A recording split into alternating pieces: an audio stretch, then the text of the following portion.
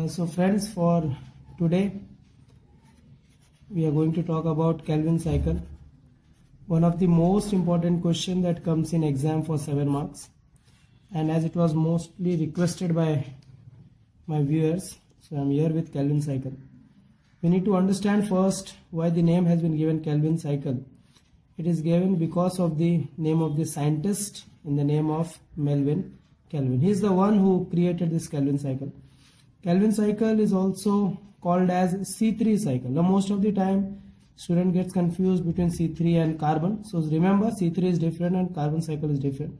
Why it is called as C3 cycle? The reason is first stable compound of cycle is 3 carbon okay Therefore, this Calvin cycle is also called as C3 cycle. Calvin cycle has also been given one name that is called as dark cycle. Now, why this Calvin cycle is called as dark cycle? Because Calvin cycle takes place in stroma of chloroplast. So what we need to understand in your exam, you can get a question based on number one explain Calvin cycle with Newton label diagram or explain C3 cycle with Newton label diagram or explain dark cycle with Newton label diagram. Whatever will be the question, the answer remains same. So let's try and do Calvin cycle. Hey friends, I'm back with new video of Calvin cycle. So in order to understand Calvin cycle, first you should understand glycolysis. If you remember glycolysis, if you not, please go through my previous video. Where glycolysis says, I give you a shortcut, glucose, glucose, fructose, fructose, DAP, then Pagal, down came Pagal, 1, 3 dipega and 3 pega. So this is what we have done in case of glycolysis. If you know glycolysis, you will understand Calvin cycle because Calvin cycle is nothing but it's a reverse of glycolysis. Most of the steps of glycolysis reversed in Calvin cycle. So first learn glycolysis, then we can go through Calvin cycle. So let's start with the Calvin cycle, how to learn it. Start with Calvin cycle. Calvin cycle basically starts with RUBP. RUBP stands for ribulose biphosphate. So this RUBP is going to act as first carbon dioxide acceptor. So carbon dioxide is going to combine with RUBP. Now RUBP is a 5 carbon compound. Now RUBP 5 carbon compound, carbon dioxide combines with RUBP. As a result it forms 6 carbon compound but it is unstable. So we call it as unstable compound. So this unstable compound is a 6 carbon compound. Now since this compound is unstable, so this compound will split by hydrolysis. Since it is unstable, it cannot remain for long time. So we say splits by hydrolysis. 6 carbon when it splits up, it splits up as PGA. Now when I talk about PGA, PGA stands for phosphoglyceric acid. Now this 6 carbon is broken down into 3 carbon. So PGA is 3 carbon compound and the first stable compound of cycle. Therefore Calvin cycle is also called as C3 cycle. Now this phosphoglyceric acid will be 2 molecule. Why 2 molecule? Because 6 carbon gets broken down into 3 carbon. So 2 molecules of 3 carbon will be formed. This phosphoglyceric acid undergoes phosphorylation. Now when it undergoes phosphorylation, it simply means it is getting phosphate. So it will get phosphate from ATP to ADP. So when phosphate is released, it goes to PGA and that PGA becomes 1 comma 3 di PGA. It is diphosphoglyceric acid. So this again remains as 3 carbon. We need to understand one important thing. We need to write 2 ATP and 2 ADP. Why? Because two molecules of PGA were formed. 1 comma 3 di-PGA now undergoes reduction. Now when it undergoes reduction, it is going to form PGAL. What is PGAL? It is basically phosphoglyceraldehyde which is 3 carbon compound. Now when I talk about reduction, it simply means addition of hydrogen. So I will say NaDH2 gets broken down into NAD and the hydrogen released goes to PGA. And finally it will be 2 NADH2 to 2 NAD. PGAL, if you remember the isomer is DHAP. So DHAP and PGL both are isomers of each other. Only difference is PGL is little bit less stable and PGL is more stable. So this DHAP is converted into PGL. So finally what happens? You get two molecules of PGL now. Of two molecules of PGAL, one molecule of PGAL will become erythrose.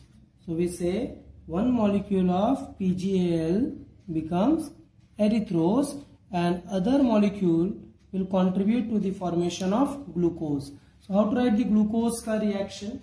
If you remember, it was fructose 1 comma 6 diphosphate. 1 comma 6 diphosphate is broken down into fructose 6 phosphate. Fructose 6 phosphate is then converted into glucose 6 phosphate which further gets converted into glucose. So if you remember glycolysis, so it was glucose, glucose, fructose, fructose, डब से बना पागल one three डाइपेगा and here 3 pega. So if you remember this, you can write in this way. Now erythrose formed as 4 carbon compound. This erythrose further gets converted into seduheptulose. so I can say erythrose gets converted into seduheptulose. Now erythrose is 4 carbon, seduheptulose is 7 carbon. This seduheptulose further gets converted into RUMP. Now RUMP is ribulose monophosphate which is a 5 carbon compound. RUMP is to be converted into RUBP. So ribulose monophosphate getting converted into biphosphate. So definitely what you need ATP or one phosphate.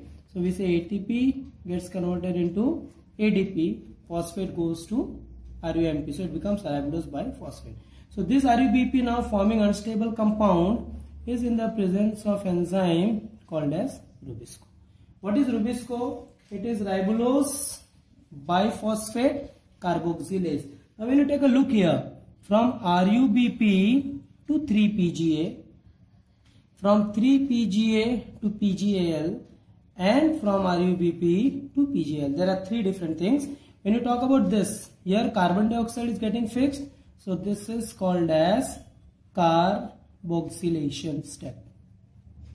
Now here when you look here, this is reduction step. So we can say this is reduction. But when you look here, there is a regeneration of RUBP back. So this step is called as regeneration. So in order to put things in a very simple way, we need to understand one thing.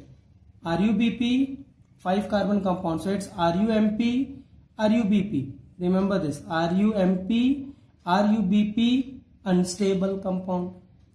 RUMP, RUBP unstable compound. Now what to write? Reverse of glycolysis.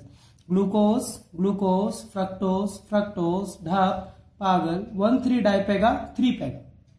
And here you need to remember only two words. Erythrose, seduheptulose. Erythrose sound like erythrocyte. So erythrose Sedu heptulose, hep2 for 7. So we say sedu heptulose. Now if you look at this cycle, it's very simple to understand. So with respect to steps, what you need to remember. First we will say this is step number 1.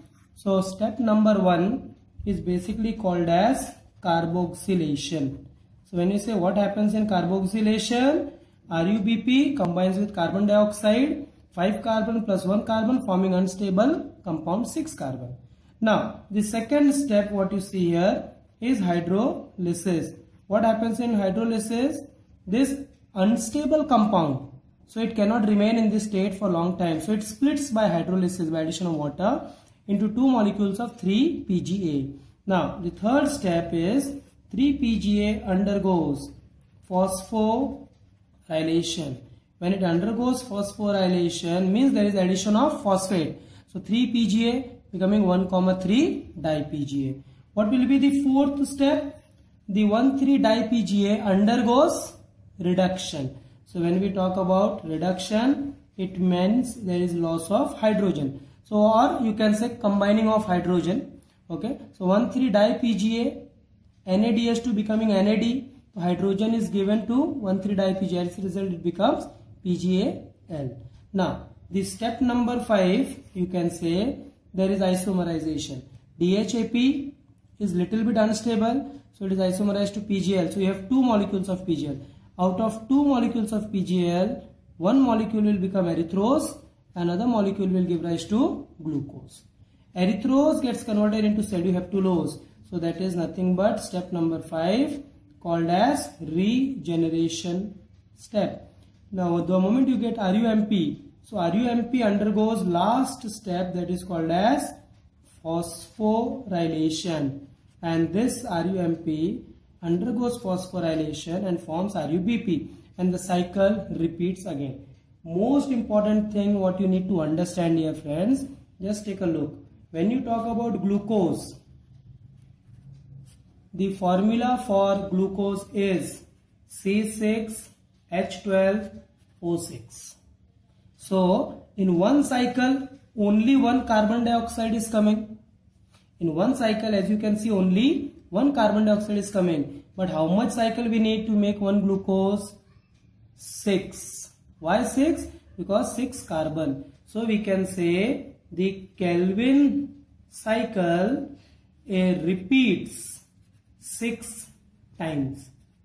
Why it repeats 6 times? Because the formula for glucose is C6. So now try and understand. In one cycle, if you take a look very clearly, you have 2 ATP plus 1 ATP. So one cycle requires 3 ATP and what 2 NADH2. So is it simple? Now the cycle is repeating 6 times. So for 6 cycles you will require how much ATP? 18 ATP and 12 NADPH2. So it's NADPH2 okay and this is also NADP because it is photo synthesis so we write NADP. Now 6 cycle 18 ATP and 12 NADPH2. So finally uh, by using 18 ATP and 12 NADPH2 we make what? 1 glucose. Now the most important thing what you need to understand friends is that for formation of 1 glucose the time required is 90 seconds. So for one cycle, how much time will be required? Only 15 seconds. So one Calvin cycle corresponds to 15 seconds. So in this way, you can remember all your Calvin cycle in a very simple way. Carboxylation, hydrolysis, phosphorylation, reduction, regeneration, and again phosphorylation. So this is all with respect to Calvin cycle. Thank you very much. Do subscribe, like, share, and comment on the video. If you have liked it, please hit a like and recommend to all your friends to subscribe to my channel. Thank you.